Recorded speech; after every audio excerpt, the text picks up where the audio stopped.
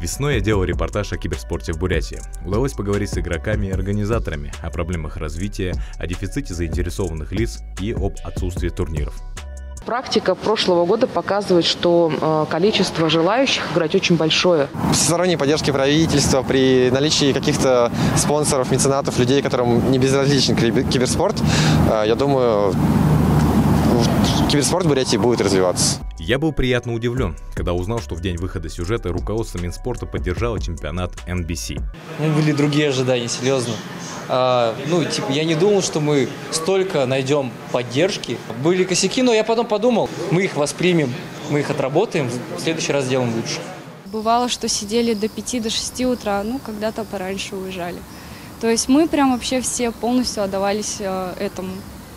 Все переживали, все беспокоились, э, что не дай бог что-нибудь мы там забудем, не доделаем.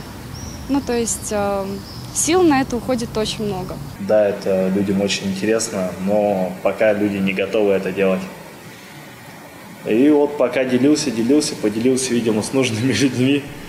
И как оказалось, что Минспорта получился такой момент, что ну, решили поддержать такую идею.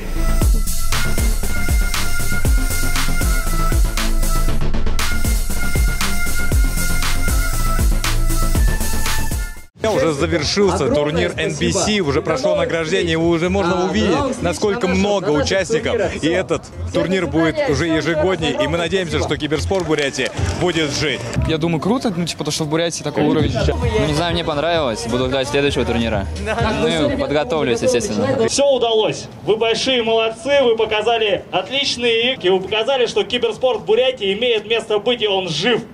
Это важно. Впечатление очень веселое у меня. Перспективы есть. Просто мало кто знает, видимо, о турнирах прохождения. Киберспорт, в принципе, я вообще считаю, это тоже спорт. Но я хочу, чтобы тоже это популярно стало именно в Бурятии.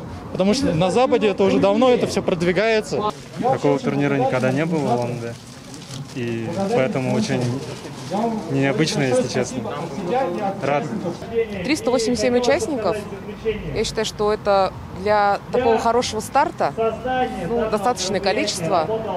Но э, надеюсь, что с каждым годом э, количество желающих и количество участников будет еще больше. Ну а мы будем поддерживать со своей стороны киберспорт в полном объеме. Ну а со следующего года, в следующем году все будет гораздо масштабнее.